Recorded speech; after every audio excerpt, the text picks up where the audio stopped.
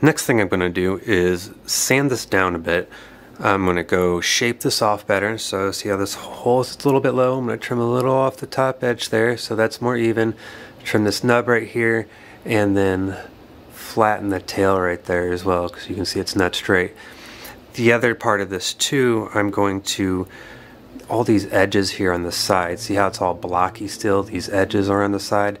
I'm going to cut these at angles with the with the belt sander here and um, make them more round. That way we can start getting our actual shape. And that'll save us time later so we don't have to do it uh, manually by hand. But the uh, little sander that I use right here is 3 fourths of an inch. It works perfectly for me. Even for uh, shaping the pick, um, it works pretty well actually. Um, got it on Amazon pretty cheap, but um, uh, the sander works really well. So I'm to go do that, shape it up, and I will be right back. This part really depends on what kind of finished look you're going for. So if you're not wanting like really blocky sides, just straight edge corners, you know, just more square edges, you want it more round, like this, you know, nice and smooth and round. You take a piece of sandpaper, cut it in strips, and you just bend it over and do this.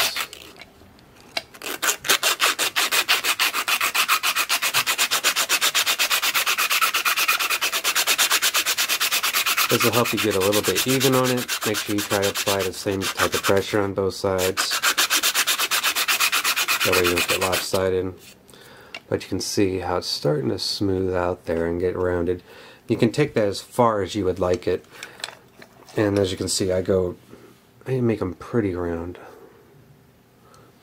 And for these types of sides, where they're a little bit more detailed, like inside of the pick, more where the pick is going to be right here, that's a smaller area, you want to use smaller strips of sandpaper. That way they fit right there. Otherwise these big strips, this will focus right there. There we go. Otherwise, these big strips, you see how it just goes all the way across that feature right there. So just use smaller strips right there. And that'll help you get rounded sides. A couple things you can do if you want to get your sides flat. So if you cut it off and your sides aren't very flat, you can take a metal file and just drag it down. Make sure you're only going the one direction. You don't use a file like a saw. You only go forward with the file, so you only bring the pick back that way, lift, and do it that way or sandpaper. Just lay a piece flat on a piece of wood and sand it down to get it straight on both sides. We have a few different options for pins. The first ones we are using uh, 332 of an inch for our pick, so got those right in the middle here. You can also use 5 16th or 5 64th of an inch. You can also use 1 8th of an inch what I tried to do with these is get the same size, the same diameter that you would drill bits, just so it makes things easier. Uh, another option is rivets. So these right here. Go zoom in on them. But these have uh, different colors in there, as you can see. And what those look like is like this whenever it's done so you can see through it. See these rivets don't show up as much. I think I used this darker color here for it. I think brass would look nicer in it. But yeah, they're cool. And then you can also use, um, it's the only pick I have like this. I got this from Matt's Lockpick, or Lock Pit, and um, you can use different types of plastic pins you know, whatever material you want, but different colors right there. That's really cool. So you can do a whole bunch of different colors with that. Next we want to put the pin holes in the metal and put the pins through the pick with the metal to make sure it all fits. And we want that fitting nice. The reason why we want that fitting nice now is once those pins in and everything are in there, it'll have our metal in a fixed position that way we can be sure when we draw our design on that our design will go straight after those holes are in there. Sometimes if you draw your design on first and you grind it down first and then you put the holes on, it might come out a little crooked. So you want to put the pinholes in there first. So let's line it up. For me, for this pick, it'll be right there. Go, I like it right there. And you can use a marker to, if it can reach, if it's thin enough, the marker will reach through and mark the metal. I'm not sure if this one is. Yeah, it doesn't look like it. So what I'm going to use is a diamond coated needle file. And these are really cheap on eBay. You can get a pack of these for like a few bucks. They're just really cheap and easy. They're, they're really useful too. So push down your pick to make sure it doesn't move. And let's make sure we're steady again. There we go, in the right position. Doesn't move. Then put our needle file in that hole and just circle it around to make sure that we're leaving a nice mark there. And then do the same thing on the other side here. I'm going to push down to make sure our metal doesn't move. And just try to mark a good mark there. Alright. There we go. You can see our two marks right there. And that's where we'll put our holes. So, zoom out here. It's easier to see the marks if we mark them with a marker, so right there. there we go, and it's right there. It's a little off, but I'll remember that. And then what I use is a metal punch. So here's the pack it comes with. It has a whole bunch of different sizes here for punching holes. And it is totally worth it. It's cheap and it's, it saves so much time. It's worth buying one. It really is. Um, if you don't have one, you don't want to use one, uh, drill with good drill bit. Make sure you use drill lube always. It makes a big difference. So we'll just line up our holes with our punch here. This one, I remember the back was off a little bit. Yep, I can see it.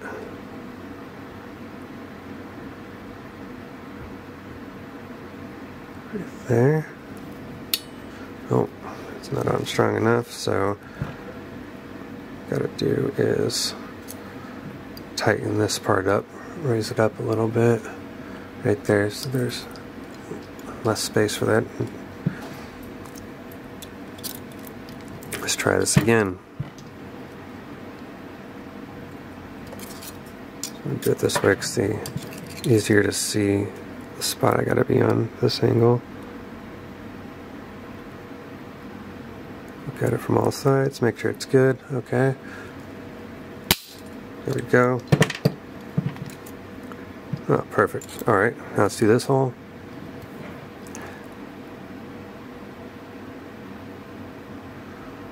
That's the most important part, just making sure it's lined up nicely because if it's not it really just you'll have to shave it down a little bit that's alright so we'll see.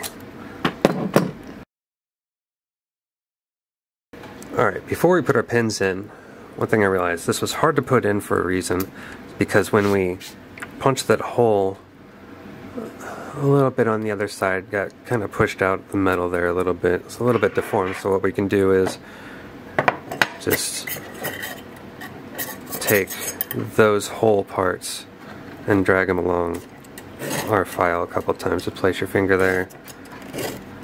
Not the whole pick up here because that's where the, nice part's going to be, but right there. I think, I think we're good now. So what we'll want to do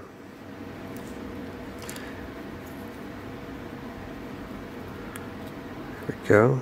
It's a nice good fit. Looks like the holes are there. And I also, the pins, I flatten those out on the metal file, smooth those out so they're easy to go through here. So it goes through the wood part alright. Get it through.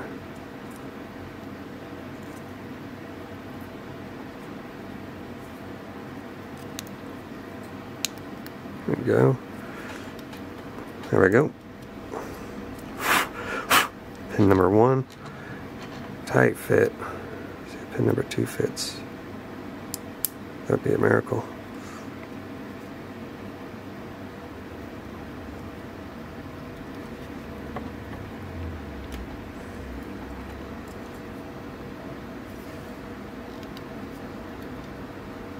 Pin number two is almost there, but it's not quite. So, pull that out. What I'm to do is see if this is about the perfect shape or perfect size there. And there's some metal on the way there. Let's try it now. What I can always do too is, yep, let's just take this off because it's it's really hard to get a perfect fit. Take your metal file or your punch again, you know, and get a little bit bigger hole. Doesn't matter too much. I'm just going to use this needle file here. This is a, uh, a diamond needle file. It's not a normal needle file, so you can use it like a saw. And I'm just kind of going around the entire circle here Just to make sure I'm kind of opening everything up there, and this should be good there. I'm going to do it a little bit on this one too, just because it is a really tight fit. It doesn't have to be really hard. There we go. Smooth it out a little bit. There we go. Let's try it again. Feels like a better fit too. Got some of those rough edges out a little bit more there. There we go. First pin. and second pin. There we go.